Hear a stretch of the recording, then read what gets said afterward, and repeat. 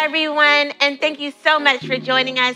My name is Chrystle Powe Jones, and we have a special presentation. You guys, it's Mother's Day, so we're just trying to make sure we're filling your day with love, joy, light, and you're gonna catch a little bit of laughter.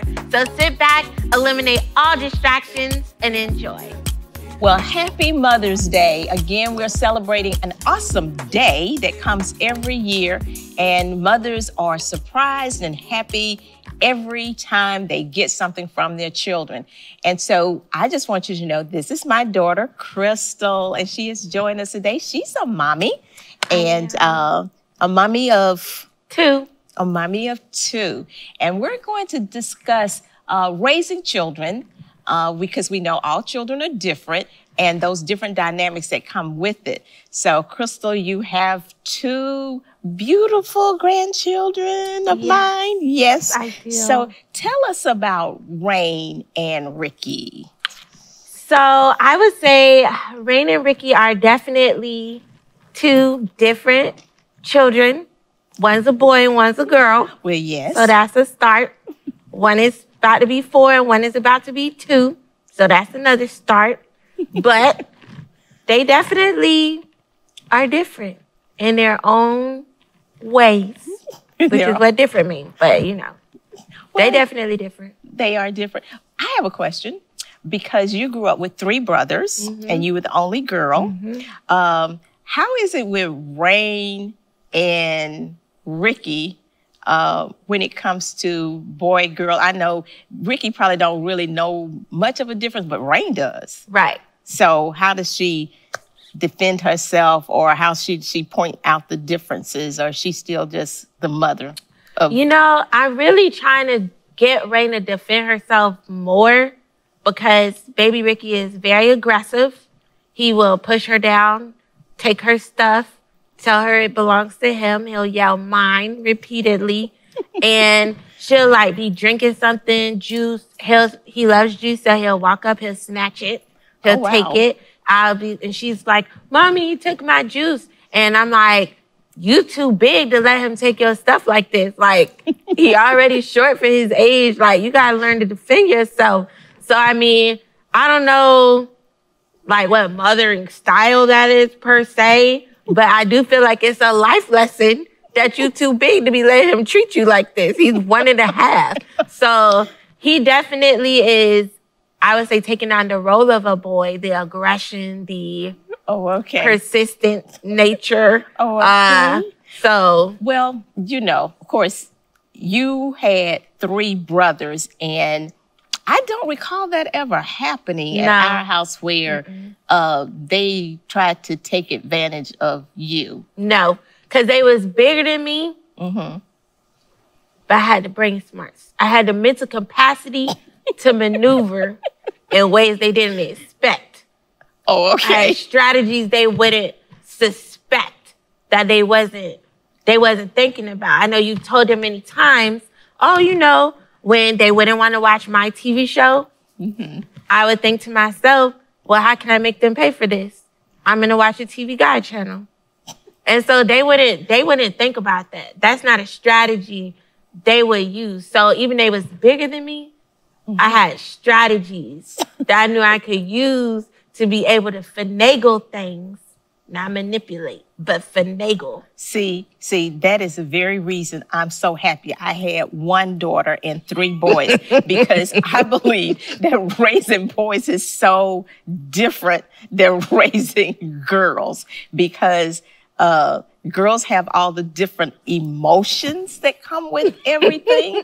uh, although I am a female, nonetheless, a girl come with all these different emotions. And having uh, raised your brothers and you're coming last, it was a real big change. Let's put it that way, a big change that took place. So, uh, but your brothers all had different personalities as well. Um, I would say raising, let's say your brother Christopher. Christopher was very logic about everything. I remember him being in kindergarten and failing. Um, let's see, what was it called? Motor skills. How how How does a child fail motor skills? I mean, what?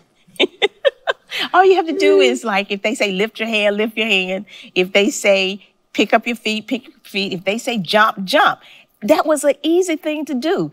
But Christopher wouldn't do it because he had to know Why? why. Why everything? Why do I have to do this? This doesn't make sense to me.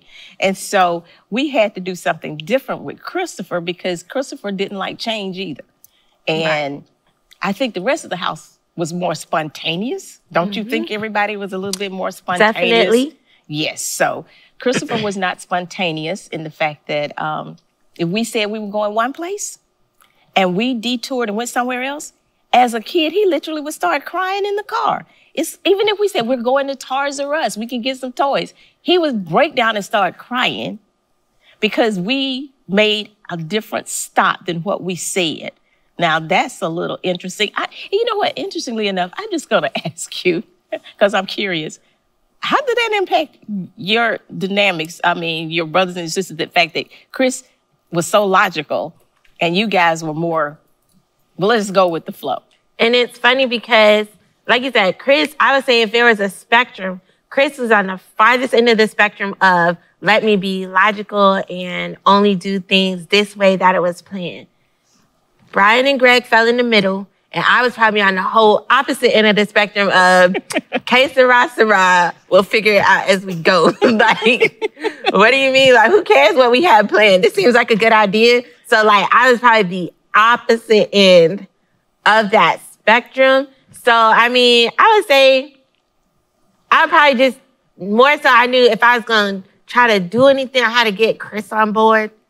Getting like Greg or Brian on board, that wasn't be too hard. You know, Oh. me and Brian are closest in age. Yes. So we've always been close, so that's not hard. Okay. It would not be hard to get him on board.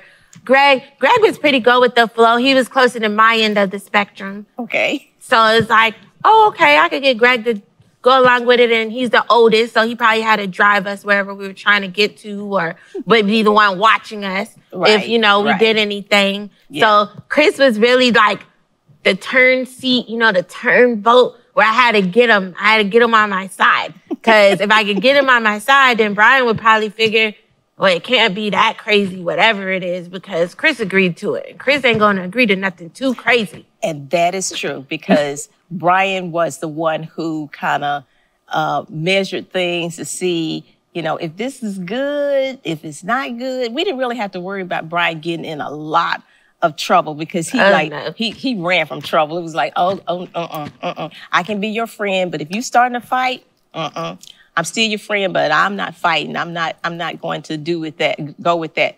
Whereas I think Greg probably would be, hey, we fighting.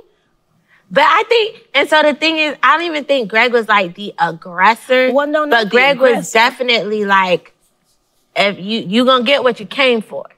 So you know that's not he's not gonna initiate it. But if this is what you're looking for, you will find it here.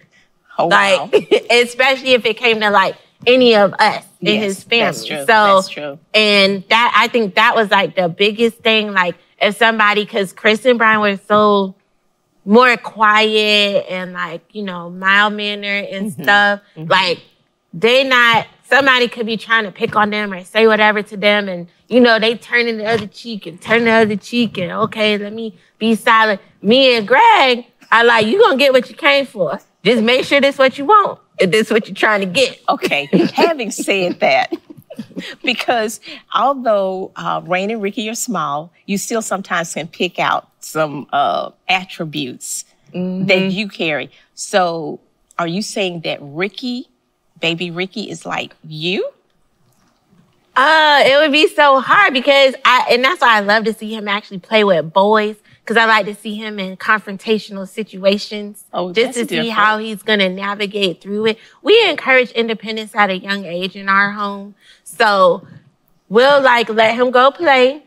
And um, there's a little boy he likes to play with, Alan, and but he's bigger than him. Like he's bigger than Ricky. Oh, But okay. and so Ricky's not used to that and the aggression, or even if he plays with Legend, you know, your other grandson, Legend, mm-hmm. his aggression level, he's pretty, it can be high. He's very active. So when Ricky gets around them, if they take something from him, like instead of like standing up, like, now you finna give it back, he'll run. Like he'll run and hide. Like if he gets it back, like he'll run and hide behind things like couches and chairs. And I'm like, look at this boy. He trying to flight it out. Like he trying to hide and protect himself. So I would say like, honestly, I don't know that either of them really has that you gonna get what you came for mm-hmm. yet.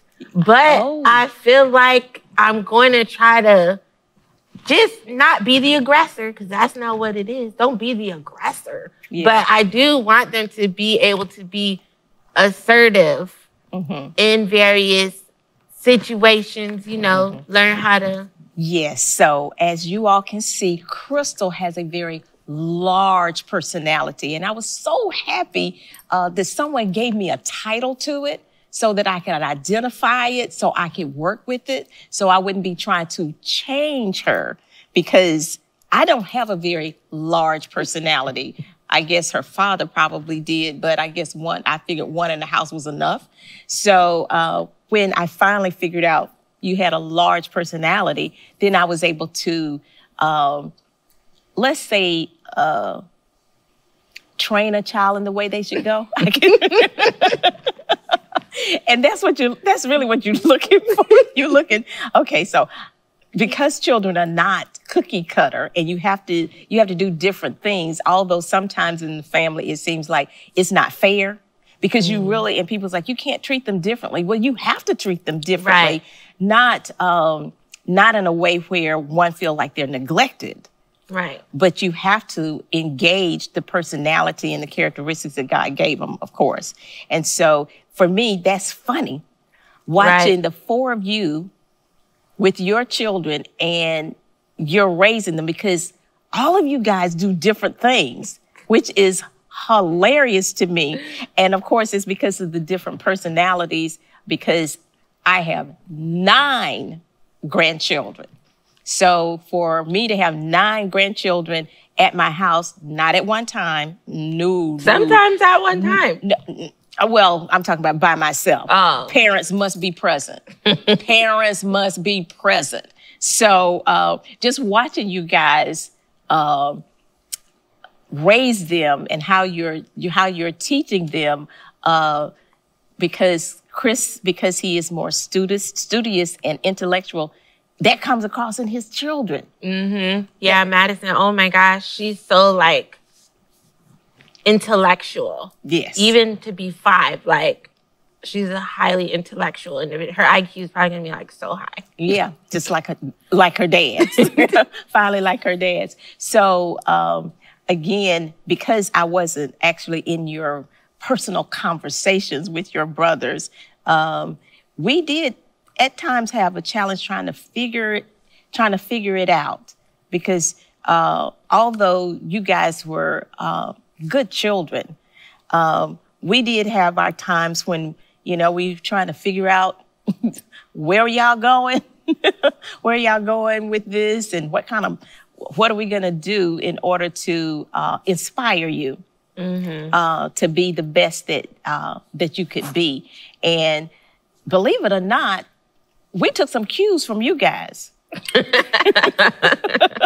took we took some cues from you guys because you would say stuff like, uh, "Chrystle just wants to be mean. Chrystle is just wanting to upset us." And it's like, yeah, that's exactly what Chrystle is doing now. Chrystle, you need to you need to be nice. We don't want you to be uh, vengeful. Uh, and you know what? Children can change as time goes on. Mm-hmm. And like you mm-hmm. said, yours are small now, but children can actually change because believe it or not, well, you know, Brian used to be aggressive. Mm-hmm. As a little kid, Brian was aggressive, and we had to take measures in order to keep him from being vengeful. Right. I mean, because he he would wait, he would plot and wait. I'm making everybody watch the TV Guide channel, and he's thinking, just wait till three weeks from now. Exactly. I got something for you. that that as a matter of fact, it's funny because I don't know whether you remember. You may have been too small by the time uh, we too small when we start when we were calling in this, but Brian used to have a nickname called. Uh, oh gosh, what was it? Booby it? Trap? Booby trap. Yes, booby trap because he was always figuring out a way to get people back, and I'm so God, glad Weeks God, cha- God changed him. He changed him because he would just sit and meditate. I can remember following him to his room after Greg or Chris did something he didn't like. Following him to his room, and he was sitting on the bed, just kind of staring off into space. And I said, Are you okay? He said, No. I said, What are you thinking about? And he didn't say anything. I said, Are you thinking about what they did to you? He said, Yes. I said, Are you thinking about what you're going to do to them? He said, Yes. I said, Okay, we're going to have to talk. we're going to have to really talk. and so, which, not just talk, but uh, we had to pray about what Brian was thinking and how he was thinking. And uh, his dad, you know, kept him with him, but he did that with with all the boys. He told me, he said, I don't know what to do with a girl because we've had all these boys. But um, but yes, we had to really kind of help him through that. And thank God Yes. that it that it worked. But um, but I know you know that it's different raising children just because of the as much time that you spend with your brothers and sisters and their children, and the fact that uh, you guys will keep each other's children, Yeah. and you notice the different personalities. So uh, I noticed that you all don't try to treat your uh, siblings' children like you treat your own Right. because you're learning what their personalities are like and what Definitely. Yeah. And then too, I would say I just try to, which I think is really important if you have nieces, which a lot of people have nieces and nephews. I try to make sure that I'm reflecting that parenting style. Yes, Even yes. though I would maybe discipline my child in a certain way for doing something, Mm-hmm. if that's not the way that one of my brothers or sisters would discipline their child for doing that thing, I try to reflect you know, what it is that they would do to mm-hmm. discipline them because mm-hmm. in disciplining a child, you need consistency anyways. So if I know over here I'm just gonna be in timeout for two minutes, but over there they're gonna take my toys for five weeks, like it's it's just different and they'll just try to spend more time at wherever they get the most leeway per se. Mm-hmm. So I try to just reflect whatever it is, however they would speak to them, whatever they would do to them, I just try to reflect and mirror how they are, you know, right training right. their child. And I feel like they do the same way, That's true. the same way with us. That's So, true. So, um, as mothers, we both know that they're different and that uh, you have to hear from God and you have to Mm-hmm. study your children because they go through different phases in life and you have to be very much aware of what's happening with them. It's- Definitely. You can't just, you know, initially people put people in front of television and it was okay. And but now it's still it's still different They because I soaking it in. because I I watch you guys. Um, there was a time when they said don't give children phones, Right. and so but that's not what that's not the case anymore. No. Or we would say the child needs to go outside and play, but that's not really how you all are doing it these days, Chrystle. Um, we do. Ray actually likes to go outside and play, and so does Vicky. So they do sometimes go outside and play. Mm-hmm. However, Rain is three, and she does have a cell phone. It's not. It don't have. Okay, so it was an old phone that I had, so it only operates with Wi-Fi, so she could do FaceTime and things. And she does. She asks to call people. She wants to call people. She tells them her phone number, which is actually just a string of numbers and letters, but she tell people her phone number. She Okay. calls people. She FaceTime people. She do her YouTube. She has things she does on her phone, and we're always watching what she's doing on it. And she has different restrictions that you know only YouTube kids, not regular YouTube. But Rain is very. um She's a three-nager. A three. So, but instead of trying to be like, no, you're supposed to be a child, you're supposed to be a baby, I actually just try to find ways to encourage um, her intellectualism as well as her thought process. She processes and thinks things through really well. Um, so instead of if she asks a question, I just say, oh, because I said, and that's what I said, I'll say, I'll think about, okay, why is she really asking this? Because she's Yeah. questioning my authority or because she wants to understand more what's happening, how to navigate through things, how to process things. Mm-hmm. And so I try to engage in some of those conversations with her, unless she's just being reckless. And then I'd be like, child, if you don't go sit down. Oh, okay. yeah, I've, I've watched those moments. Uh, I've watched those moments with all of you, all of you all, and of course, um, sometimes I just kind of sit and wonder if I really could raise a child now. I'm not really sure if I could. I would have to take tips from you guys. Isn't that interesting?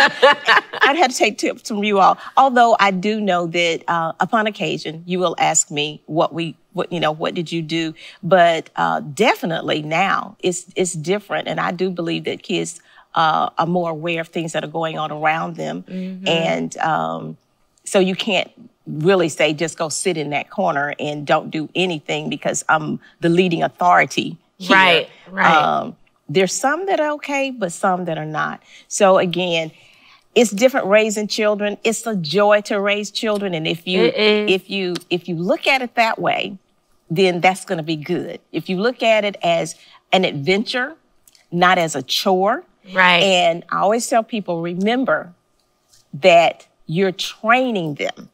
yeah. Training requires repetition, and you can never get upset. I mean, you don't fire your uh, trainer if they're trained. You know, if you hire a trainer, you don't fire them because they keep telling you you're doing that push-up wrong. right. But you just, you just, you know, follow Gotta the lead, and so them. we keep all that in mind too. So again, it is Mother's Day. And we just pray that you're having a wonderful day today. We pray that uh, you got some really good gifts uh, in the mail if your children are not able to bring them to you. But it's a good day to celebrate mothers. So do that and be proud of your children. And thanks again for joining us. Again, I'm Pastor Deborah Powe. This is my lovely daughter, Chrystle, and we show, hope we share something with you to at least entertain you today. We don't know if it'll help, but if nothing else, laugh a couple times. yes, have a laugh on us. It's okay. Thank you so much for joining us today. I really hope that you enjoyed that time that we were able to have together. Make sure you're staying connected on our social media platforms Facebook, YouTube, as well as Instagram. We want to stay connected with you. So, again, I hope you enjoyed it, and I hope you enjoy the rest of your Mother's Day as well.